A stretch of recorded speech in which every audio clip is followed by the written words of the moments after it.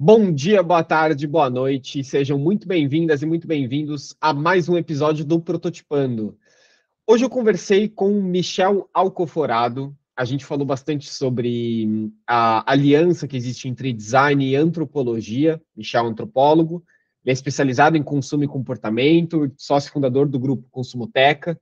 É, ele apresenta um mapeamento de tendências de mercado, do mercado brasileiro de comportamento e consumo transformações culturais, ele tem uma coluna no UOL, uh, comentarista da Rádio CBN, enfim, tem o, o Caoscast, uh, que é um podcast super interessante que eu já deixo recomendação desde já, enfim, palestrante.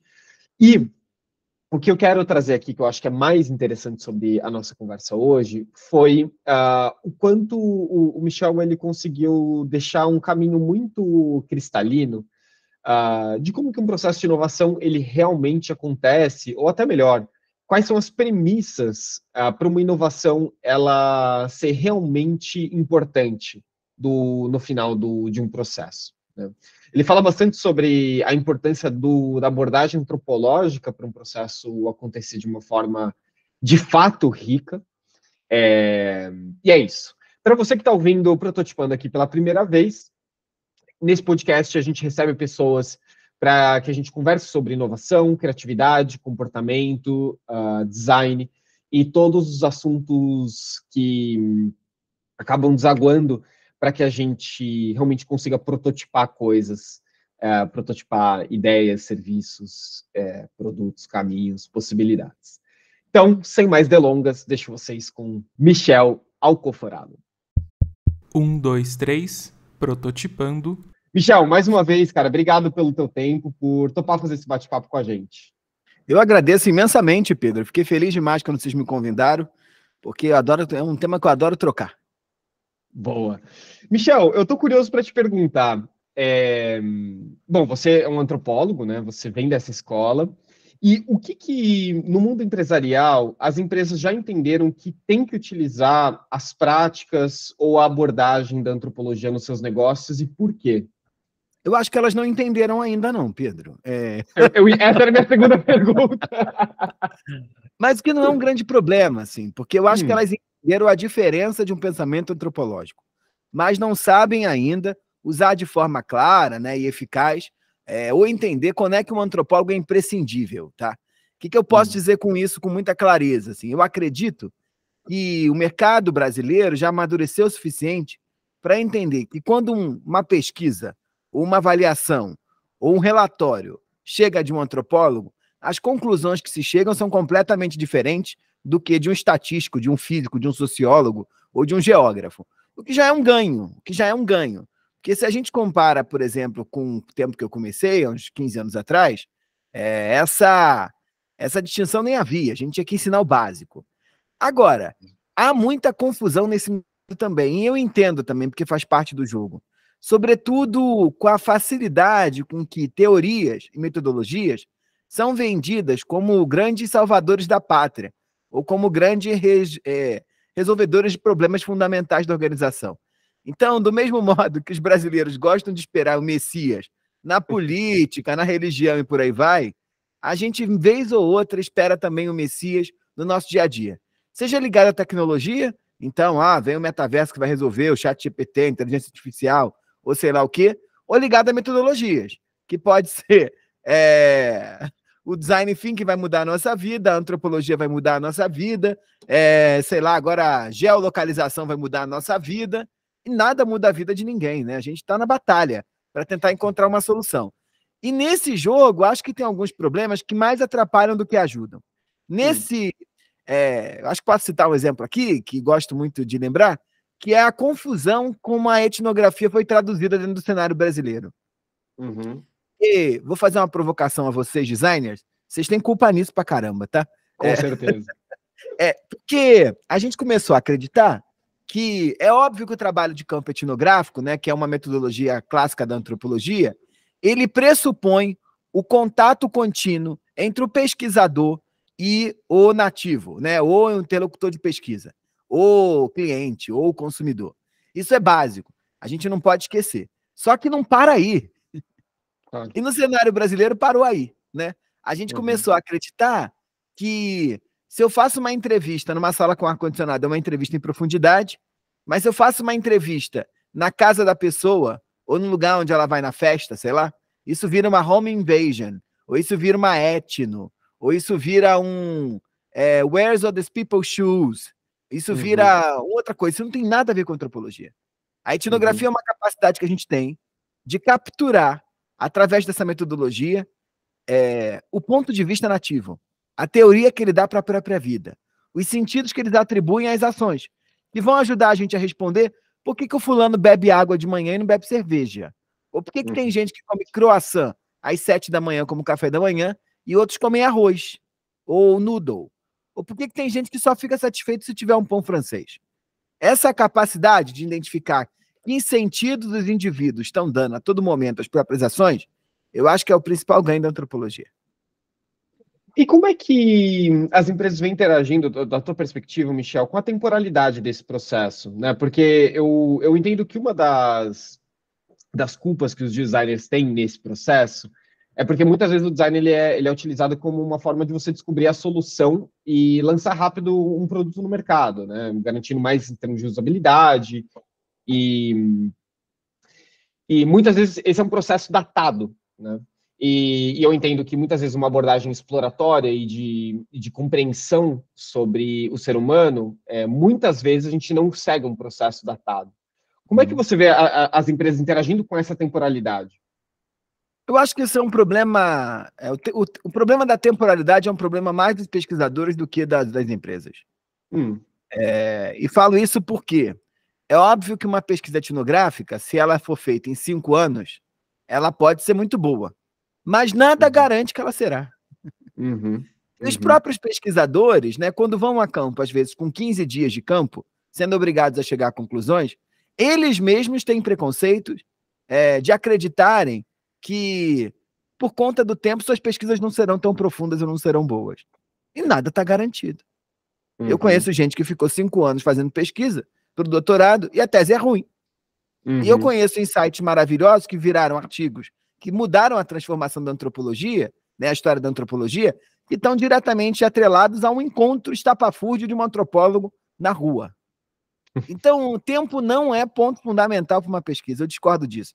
Uhum. Até porque, se a gente compara o modelo de pesquisa acadêmica da antropologia brasileira em comparação com o modelo dos antropólogos franceses, ingleses e americanos, nós, desde sempre, sempre ficamos menos tempo no campo. Nunca uhum. ficamos um ano inteiro, dois anos, vivendo com a comunidade que você está pesquisando. Os ciclos uhum. antropológicos aqui no Brasil são ciclos curtos e espaçados ao longo, ao longo de um grande período de tempo. Os antropólogos brasileiros ficam três meses dentro de uma comunidade indígena, voltam para cá, voltam ficar mais três meses, o que não é um modelo aceitável nos Estados Unidos. Eu uhum. defendo que quando a gente está fazendo antropologia para o mercado, a gente deve se preocupar com aquilo que é uma microetnografia. É hum. como eu consigo me valer de pequenos eventos e a partir da conjuntura que aquele evento traz para a gente, aquilo me permite ter uma visão completamente diferente sobre o mundo. Ou como eu, através da observação de um pequeno ato, de uma pequena fala, de uma pequena briga, ou de uma pequena maneira como fulano organiza o armário dele, eu tenho uma porta de entrada para entender como ele organiza o mundo. Isso não tem nada a ver com o tempo. Então, agora, eu não posso também acreditar, e esse é um debate que eu tenho tido agora com os antropólogos. A gente hum. não pode acreditar que a antropologia que eu faço no mercado é a mesma que é feita na academia. Não, não é. Não é, mas uhum. continua sendo antropologia. E essa é a grande batalha que eu agora estou a fim de levantar. É, porque os antropólogos, quando saíram das aldeias, tá, ou das comunidades tribais, ou das sociedades tradicionais, e migraram para estudar em cidades, também enfrentaram isso. Tinha uhum. muita gente que dizia, mas será que esse negócio é antropologia? Você estava antes passando, sei lá, três meses dentro do Xingu. Agora você está dentro de um apartamento em Copacabana. Continua sendo antropologista, dando seu vizinho? E a gente conseguiu consolidar no Brasil e no mundo a ideia de que era. Uhum. Mas é muito diferente. O arcabouço teórico é diferente. A condução da pesquisa é diferente. A construção da diferença, ou desse encontro com esse outro, que é muito parecido contigo, também é diferente. Disso eu não duvido. Uhum. Agora, continua sendo antropologia. Por quê? porque eu estou preocupado com a teoria nativa, ou seja, com o sentido que os indivíduos dão para suas ações. Eu estou preocupado com a diferença a todo tempo, Por que, que as pessoas fazem o que elas fazem, que é diferente do que eu faria? Eu estou preocupado em expandir a nossa percepção do que é o mundo a partir dos resultados dessa pesquisa.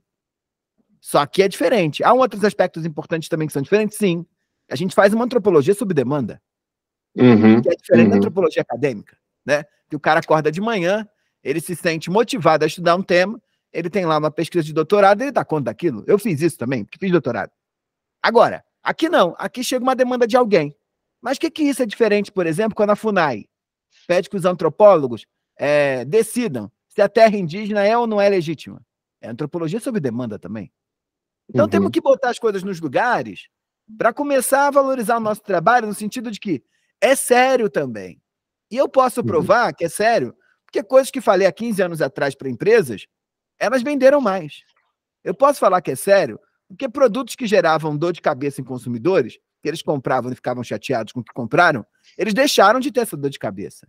É sério porque eu inventei, junto com minha equipe, é, um novo modelo de negócio para um banco, e eles saíram de 400 contas abertas por dia para 5 mil contas, de uma noite para outra, quando foi lançado uhum. o produto. Então, é sério. É sério porque funciona. É sério porque funciona. Então, a temporalidade é um problema que não é o principal problema da pesquisa antropológica fora da academia. É, essa uhum. é, um, é um, grande, um grande fantasma que os antropólogos da academia se valem para desqualificar o trabalho de quem está fazendo fora. E a gente uhum. pode ser desqualificado, tá? Não tem nenhum dilema com crítica, eu posso. É, mas não por isso, né? Não por isso. Porque a gente sabe que é, quem joga pedra tem telhado de vidro também. E, e, se esse não é o grande problema, Michel, qual que é o grande problema da antropologia fora da academia? Eu acho que o grande problema da antropologia fora da academia está sobretudo no pesquisador, tá? Hum. Por uma questão muito clara. É... Quando você faz uma antropologia na academia, você é motivado pelos interesses seus e pelos interesses do campo, pelos seus interesses na medida em que em que campo você quer se vincular, que tipo de pesquisa te interessa, o que te motiva, com quem você quer ser amigo, com quem você quer virar inimigo. Uhum. Quando a gente faz uma antropologia no mercado, a demanda é do outro. E a demanda do outro é paga. E uhum. aí o pesquisador precisa ter, de maneira muito clara, quais são os limites éticos dele. Então, o que, que eu uhum. não faço? Eu tenho, muito claro. Muito claro. O que, que eu não faço, o que, que nunca fiz. E acho que nunca farei. Não vou dizer que não farei, porque não sei, mas acho que nunca farei, porque nunca fiz. Uhum. É, eu faço pesquisa, é, e posso ser claro aqui, sem nenhum dilema, tá? Pode. Eu faço pesquisa para determinadas indústrias que podem até ser questionáveis, mas eu não faço pesquisa para consumidor consumir mais produto dessa indústria. É, uhum. É, sei lá, posso citar aí qualquer. A par de produtos que a gente deveria estar tá pensando são enormes, né? Eu acho que o papel fundamental aqui, mesmo enquanto antropólogo, é ajudar que os consumidores tenham uma experiência com menos ruídos ao longo da relação deles com as marcas. Esse é o meu papel fundamental, assim. É como eu uhum. consigo é, identificar oportunidades na vida dessas pessoas, dado que a vida delas é norteada de fricções, de tensões, como através de produtos, a gente consegue transformar essa vida de algum modo numa vida menos tensa. E é isso. Uhum. Eu durmo tranquilo. Eu durmo tranquilo. Nunca tirou meu sono. Nunca tirou meu sono. Porque eu sei quais são os meus limites éticos. O que na academia você não precisa se preocupar tanto com isso, né? Ou porque a comunidade já regulamentou, ou porque uhum. você está fazendo coisas que não vão ter grandes impactos assim na vida de alguém. É, a não ser na sua e na comunidade ou nos estudos acadêmicos, né? É, então, esse é um ponto que eu estou muito preocupado a todo tempo. E essa eu acho que é o principal dilema aí. Quando uma, uma, uma liderança, uma diretora, um diretor te ouve, Michel, vamos dizer que é uma pessoa que nunca entrou em contato com esse tipo de abordagem. E eu acho que a primeira pergunta que ela teria é, é por que, que eu, tenho que eu tenho que utilizar esse tipo de abordagem? Por que, que isso é importante para a minha empresa? O que, que você normalmente responde, Michel? É importante, sobretudo dentro do cenário brasileiro, que a gente tenha um ponto de vista antropológico sobre os negócios, porque é a única possibilidade que você tem de colocar o consumidor sentado na, na tomada, na mesa de tomada de decisão. É. Eu brinco sempre com os executivos que trabalham que eles vivem um dilema sério, né? Que eles gerenciam marcas brasileiras sem viver no Brasil. O fulano ganha um carro da firma, o carro dele é importado, ele nunca passou gasolina, porque ele tem gasolina, ele tem uhum. celulares que é dado pela firma, ele entra em carros blindados, sai em casa com vidros blindados, e o máximo que ele vai de contato com a periferia é quando ele chega a Guarulhos, para pegar um uhum. voo na classe executiva para algum lugar. E aí, como é que você inventa o Brasil se você não vive no Brasil? É, então, acho que a única possibilidade que a gente tem, é isso que eu tenho feito ao longo da minha carreira, que é colocar o consumidor sentado na, na mesa de tomada de decisão. Porque uhum. Há um pacto ali de tomada de decisão narcísica. Claro. a gente cria para a gente mesmo, para os nossos filhos e pelo que a gente gosta, que acha que é bom. Então o processo é esse, é desafiador. É uma guerra todo dia, como você falou, né, Michel? Opa, opa, é uma guerra. O que, que te dá esperança, Michel? Ah. Ai. Eu diria que o que me dá esperança é porque eu já estou velho o suficiente para ter visto muita transformação, tá? É, isso eu acho um ponto importante. Tá hum. muito melhor. Muito melhor. Apesar de estar tá bem pior, tá muito melhor. né? A gente não pode deixar de lado os avanços que tivemos. Uhum. Não pode deixar de lado a quantidade de antropólogos que tem no mercado hoje, comparado com quando eu comecei. Não pode deixar de lado, por exemplo, a facilidade com que a gente tem agora é, gente produzindo conhecimento de forma clara, expandida, né? fora é, dos muros. Né? Não pode se deixar de lado é, que estou sendo ouvido ainda. Então, eu tenho esperança, eu tenho esperança. Eu tenho muita vontade de fazer. Hum. Isso me dá esperança. Meu desejo me motiva. E ele me dá esperança que vai ter chance ainda da gente mudar muita coisa. Então, dentro do mercado, eu tenho ouvido cada vez mais. É óbvio que tem ondas, igual na política você tem ondas conservadoras. No uhum. mercado você também tem, né? Essa necessidade, mas elas passam. Essa necessidade de agora tratar todo consumidor como se fosse um usuário. E aí a psicologia cognitiva volta, o behaviorista volta com toda a força. Como uhum. se fosse possível botar Pedro, Michel, João e Maria dentro de um chart. E um chart com essas palavras fáceis, né? Hooked, nudged e não sei o quê. Como se todo mundo fizesse a todo momento o mesmo quadrado. Porque é gerenciado por um conjunto de células ou por um conjunto de conexões neurais. Tem cultura e a gente não é vaca. É uhum. É bom que a gente trabalhe para não virar vaca. Né? é, nós fazemos conexões neurais alinhavadas por questões culturais. A gente tem uhum. linguagem, isso é outra coisa. Muito mais complexo. Muito uhum. mais complexo. E aí é interessante, só para você ter ideia, né? Que muitas das vezes o grande desafio, acho que, o designers, que os designers vivem é que aquilo que é bom para o cliente, o cliente às vezes não acha que é bom para ele, né? Claro. Então, é, o que logicamente que, logicamente, por conta de toda a história do design mundial e de todas as soluções que vocês conseguiram inventar para resolver o dilema é, do mundo, que foram fundamentais, a dobradiça, sei lá, estou inventando aqui a roda, por aí vai. Às vezes o cara quer ir a pé, né? Uhum. E ele quer ir a pé pelas questões dele. Por mais que você convença ele que uma porta com tal forma é melhor, ele não quer. Ele não quer por quê? Por causa da cultura. Claro. Então, eu acho que a gente está avançando. E, e, e, sobre esse tópico do design, Michel, eu, eu acho que essa é a próxima fronteira do design. O design, se ele se resumir a isso, a, a, a construção de soluções e não ao entendimento de pessoas, é, vai ser uma solução. É, ah, muito... Vai, né? É, exatamente. Eles estão bem pra caramba, né? Estão fazendo coisa bonita pra chuchu, né? Exatamente. eu tenho, então, assim... eu tenho, eu tenho muito. É, eu tenho uma amiga minha, Clarissa Biocchini, ela agora é head, VP, sei lá, desses cargos importantes da Electrolux, ela é envolvida nesses negócios aí de design de serviço há muitos anos. E ela uhum. me falava um negócio que há uns 10 anos atrás que eu não acreditava tanto. Hum. Ela dizia, Michel, eu deixei o design gráfico porque eu achei que ia acabar. Aí eu disse, mas Clarissa, tanta, meu amigo fulano é design gráfico maravilhoso, faz projetos estupendos. Ela disse, é, mas eu mudei pro, eu amo design gráfico, mas eu mudei para o design de serviço porque isso aí vai acabar. não tinha inteligência artificial, não tinha chat GPT, essa coisa que deixa a gente com barriga tanquinho sem você ter ido à academia uma vez na vida. Não tinha nada disso. E eu acho que ela está certa.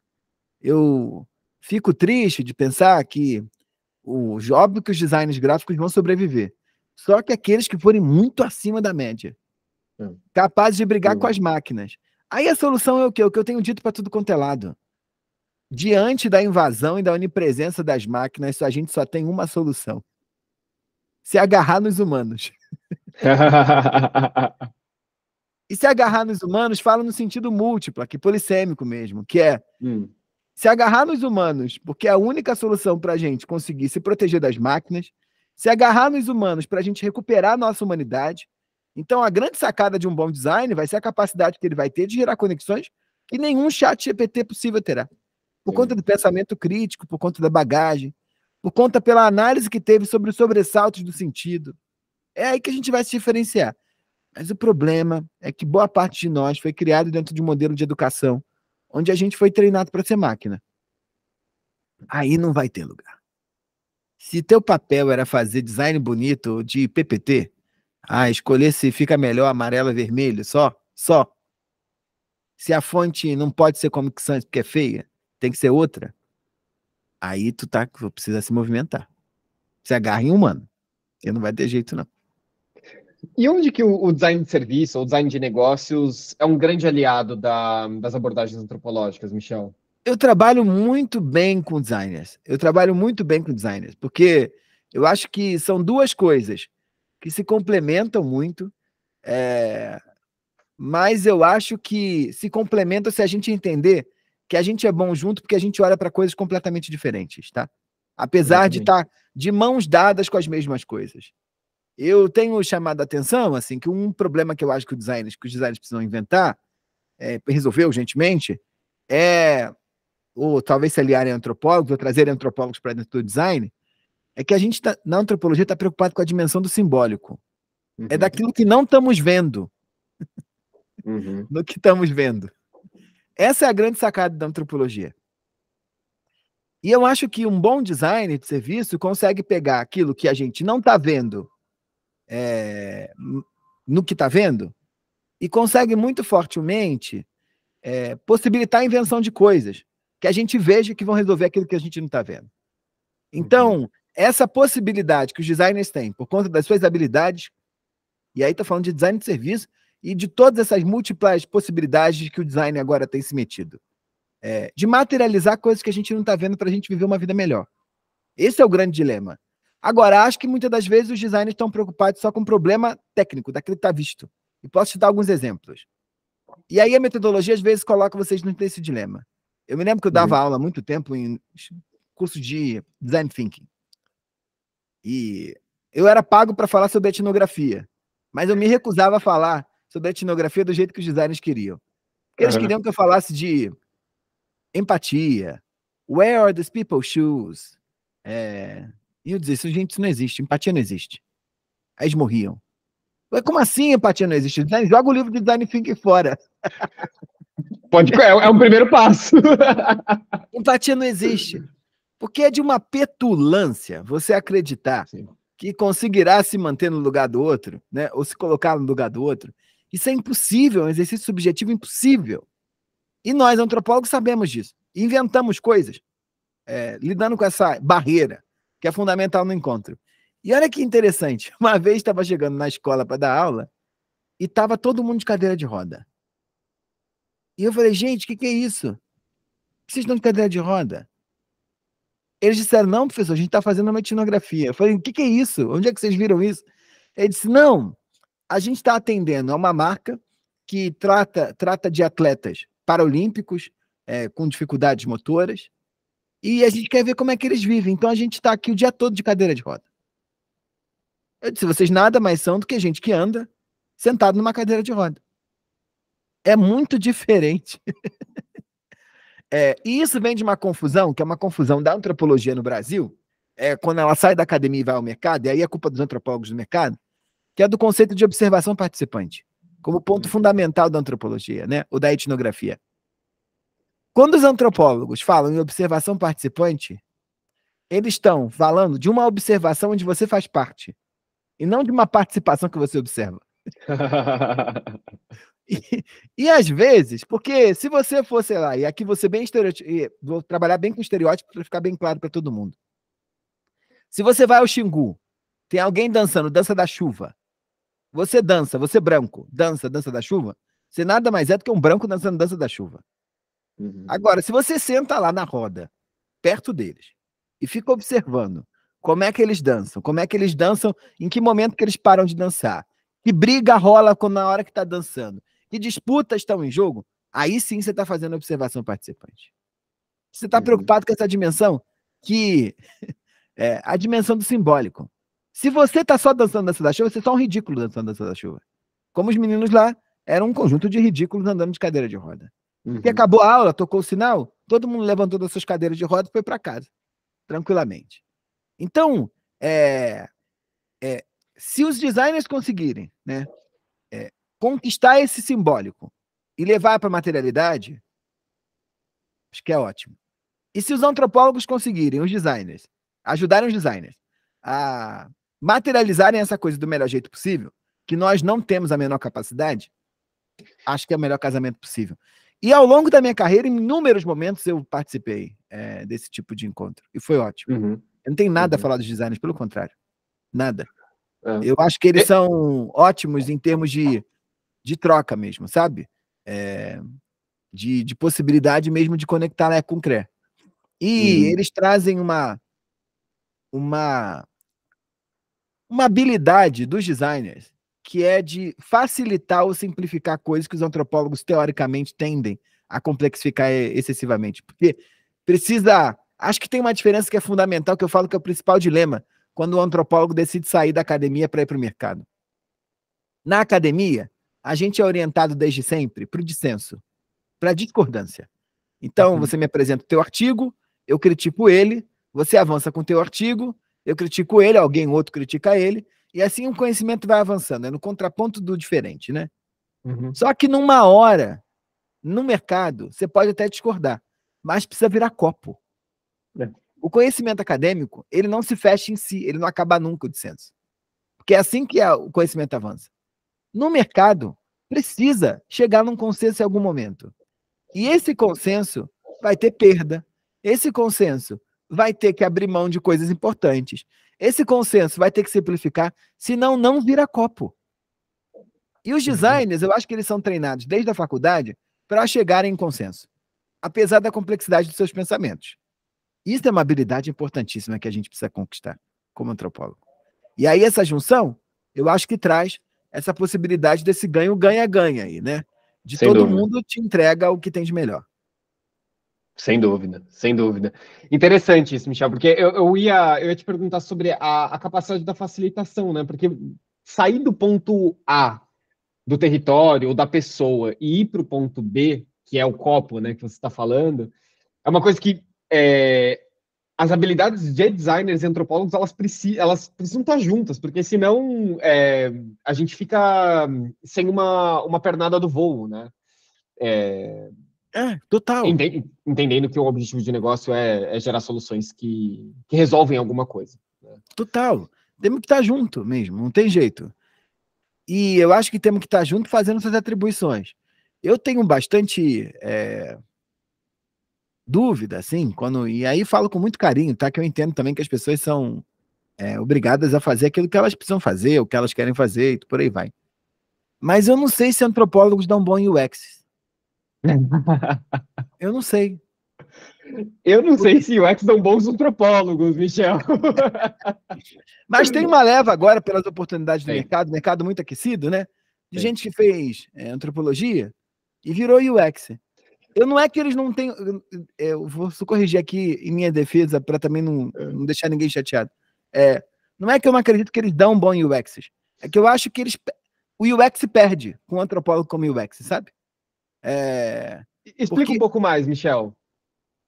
Porque eu acho é, que as metodologias de UX elas enquadram demais antropólogos. É, uhum. A grande sacada que eu acho que a antropologia pode trazer para o UX é a possibilidade da gente refazer a todo tempo todos os canvas, refazer todas as jornadas, problematizar tudo aquilo que a gente acredita que é o certo, ou, uhum. ou trazer novas camadas de complexidade para aquilo que já está básico. É, uhum. Quando você é, pega teu diploma de antropologia e você vira um UX, eu acho que você fica conformado, entra na caixa. Então uhum. não, é, não acho que é a melhor coisa. E também acho que UX não dão bons antropólogos, eles vão ficar chateados comigo. É, eu, eu, peço mil desculpas às UX, mas eu acho que eles não dão. É, e não tem problema, não tem problema. É, sabe por que é engraçado que é, eu já trabalhei com. Eu adoro publicitário, tá? Apesar de odiar eles, com uhum. muito carinho.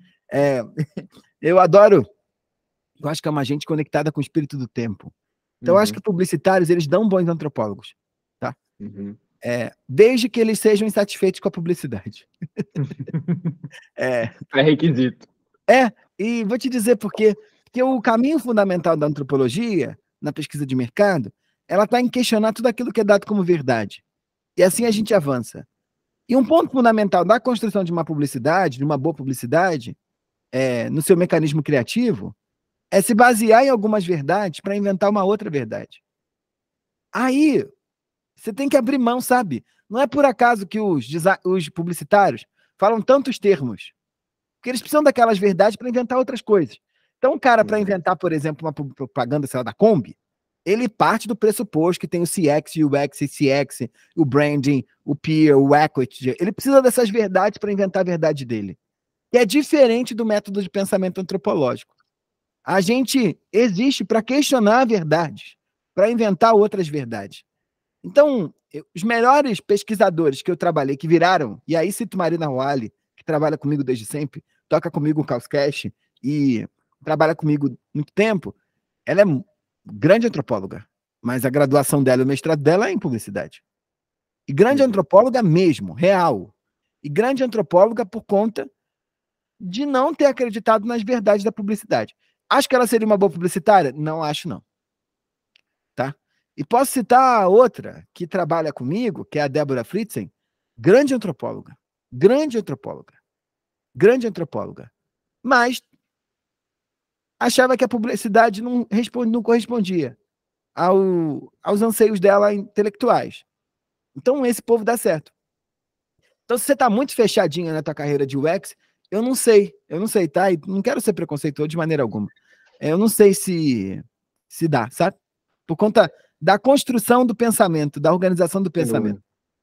Sem dúvida. É, eu estava até num debate ontem com, com o pessoal aqui da ensaio, eu, e a gente conversando um pouco sobre a, as pessoas que a gente tem que vestir, né? Eu acho que a gente vestir só uma persona, a gente usar só a máscara do, do, do UX, é muito pouco, né? A gente precisa ser o diplomata, a gente precisa ser o pesquisador, a gente precisa ser o cientista, a gente precisa ser o terapeuta, a gente precisa ser o, o médico, a gente precisa de outras é, facetas, né? Acho que a gente precisa de múltiplos espelhos, uhum. ou desenterrar esses espelhos que estão aí, né? Do, que a gente já tem contato em algum nível, né? É. Duro, então, eu, é, é. é mas, ô, que... Pedro, eu concordo, tá? Mas eu tenho dito isso para todo mundo que trabalha comigo. É, Vista várias máscaras, mas saiba qual é a que te cabe bem. Então Sem a gente dúvida. tem que saber muito bem no começo da carreira no que, que a gente é bom. E vou reforçar aqui para os mais jovens, os possíveis mais jovens que estejam nos ouvindo. Saiba que você é bom, mas saiba que o que você é bom não é você só que diz, não. Em geral, são os outros que dizem que você é bom. Acho que gente que teve sucesso na carreira conseguiu encontrar o meio do caminho entre aquilo que achava que era bom, mas ouviu pra cacete o que os outros diziam que você era bom. É. Eu queria ser acadêmico. Eu queria.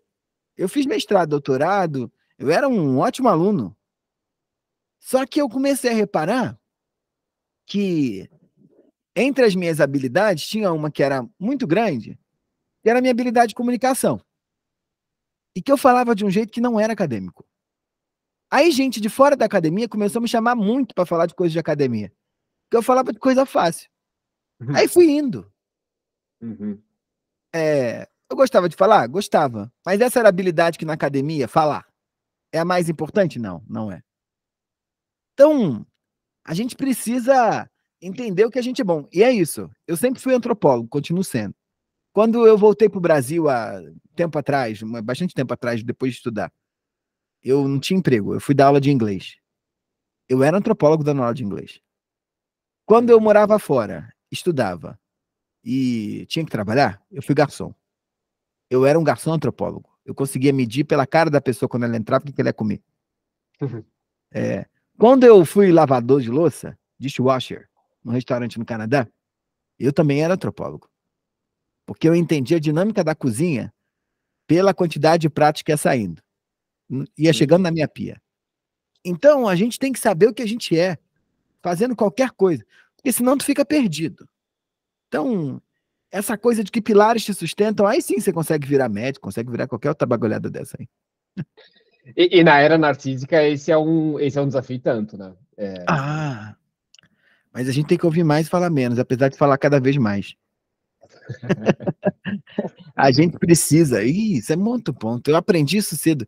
A gente é bom naquilo que os outros dizem que a gente é bom, não é o que a gente às vezes acha que é bom, não, tá? Claro. É... Pro, provavelmente a gente vai estar errado, né? É, o que você acha que você é bom? É porque quando você acha sozinho que você é bom, é, o esforço é, e a chance de você ser estigmatizado. O Goffman, né, tem um livro muito importante que é um sociólogo Irving Goffman, chama Estigma. E ele vai dizer que o estigma, que é essa esse label, né, essa, esse selo que colam na gente, é, rótulo que colam na gente, é, que vão, vai determinar a identidade de muitas pessoas, ele vem desse descompasso entre aquilo que o grupo atribui a gente e aquilo que a gente atribui ao grupo. E aquilo que a gente atribui a gente mesmo. Então, manter um bom controle desse ponto é fundamental. Tem que saber o que, que você é bom. E é isso aí que você vende. Isso é o personagem. Esse é o personagem. Eu estava dizendo isso outro dia num podcast que participei. Hum. Você tem que saber muito bem quem é o personagem. E esse que está à venda. Uhum. Sabe? Porque se você botar você à venda, tem gente que bota. Ou acredita tanto no personagem que começa a botar, acredita vestir o personagem. Aí, esse personagem passa.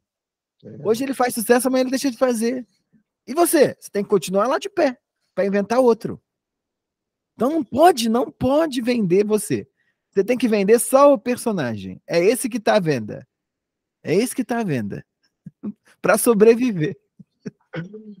Michel, deixa eu te fazer. Eu tenho mais duas perguntas para te fazer. A primeira delas é, é para quem está ouvindo a gente aqui e trabalha em iniciativas de inovação, trabalha liderando negócios, áreas de negócios, ou áreas que estão dentro da, de, de atendimento ao cliente, é, como é que elas começam a utilizar esse tipo de abordagem, Michel? Lendo. Lendo. Boa. Eu tenho dito isso, no outro dia a PUC me chamou no Rio para dar uma palestra sobre antropologia, e aí era no curso de comunicação e de design também. E foi interessante que veio, lotou a turma, e os jovenzinhos, muito preocupados se eles deveriam fazer o curso YZ, X, é, fazer. Eu disse, queria, querido, leia. Leia. leia qualquer coisa. Mas se quer querendo ler antropologia, leia.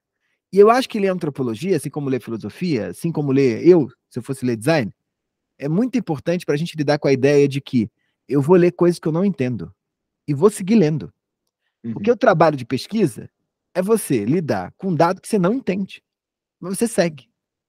É, então leia, leia antropólogos. E quantidade de, de textos são importantíssimas aí nesse negócio.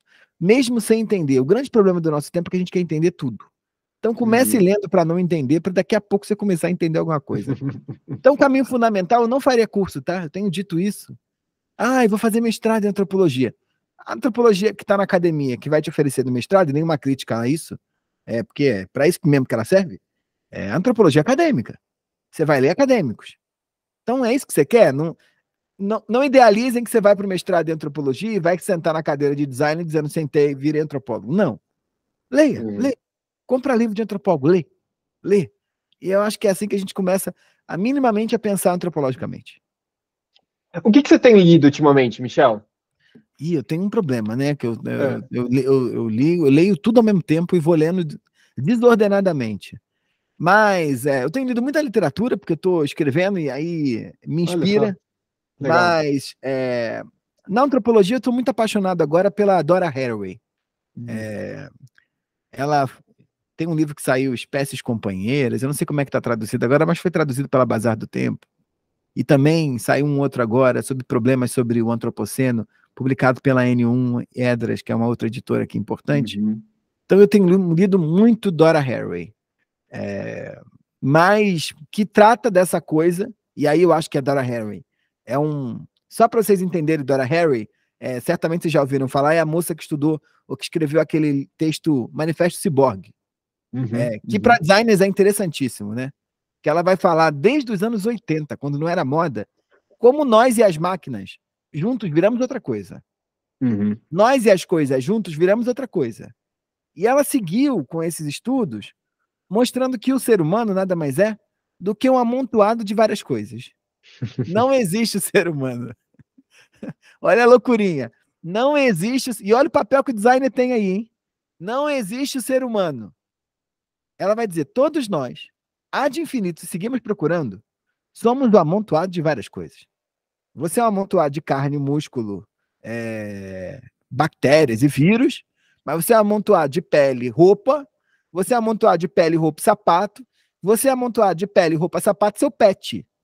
A cadeira que você senta, a cama que você dorme, o chuveiro que você toma banho. E essa ideia de que a gente, toda vez que cria um produto, a gente inventa nova gente, eu acho muito bonito. Eu amo essa ideia. Hum, oh, interessante. Então, eu acho que os designers precisam entender que eles inventam pessoas. E quando hum. inventam pessoas, inventam sociedades. Vou, vou ser muito claro aqui, né? É, meu Deus. O cérebro deve ser diferente já. Pré-celular, depois do celular. Uhum. Vamos no aspecto biológico. Mas a nossa subjetividade é diferente. Sai é. da sua casa sem seu celular, você é outro. Outro. Uhum. Não é à toa que o povo agora coloca um bagulho aí para poder ficar sem celular. Ah, não, tô aí. Porque precisa virar outro. Não aguenta quem é. Alguém inventou essa porra, né? Inventou outro tipo de gente. Dora Haraway. Sim. Boa, boa. Michel, para a gente fechar aqui o nosso papo, eu queria hum, ressoar uma pergunta que o Abu Janra ele sempre fazia no seu programa. Hum, medo, hein? O que, que é a vida, Michel? Ah, a vida é guerra. a vida é guerra. Para mim é isso. Desde sempre. Sempre disse isso. Disse isso ao ponto que no outro dia, uma menina que trabalhou comigo muito tempo e seguiu para mundo corporativo, ela me deu um livro quando ela foi embora, uma dedicatória linda, Beatriz, e dizendo notícias de uma menina na guerra. a vida é guerra, querida. E você tem que acordar todo dia na trincheira ou de olho na bala que está vindo do outro lado, ou disposto a atirar em alguém ou alguma coisa. É, para conseguir estar tá vivo, né? E aí, é, todos os dobramentos, para mim, são fundamentais desse jogo, né? É, que é coragem, precisa de coragem para viver. Coragem. Então, é, a vida é guerra. Boa. Michel, para quem está ouvindo a gente, quer conhecer um pouco mais sobre você, sobre seu trabalho, é, quer te contratar, dá o caminho das pedras, como é que as pessoas te acham? Nas redes sociais é arroba Michel Alcoforado. Eu escrevo no UOL, é, tem uma coluna lá no UOL Tab. Eu falo na Rádio CBN às terças e quintas sobre comportamento. Tem o Caoscast, que é um podcast que tenho junto com Marina e o pessoal aqui da Consumoteca. E só escrever que a gente dá um jeito de ajudar. Boa, show. Michel, mais uma vez, obrigado, cara, pelo seu tempo. Foi um ótimo papo e seguimos. Muito obrigado, Pedro, o pessoal da Insight. Fiquei feliz demais pelo convite, mais ainda pelo papo. Muito bem, gente. Esse foi o bate-papo com o Michel.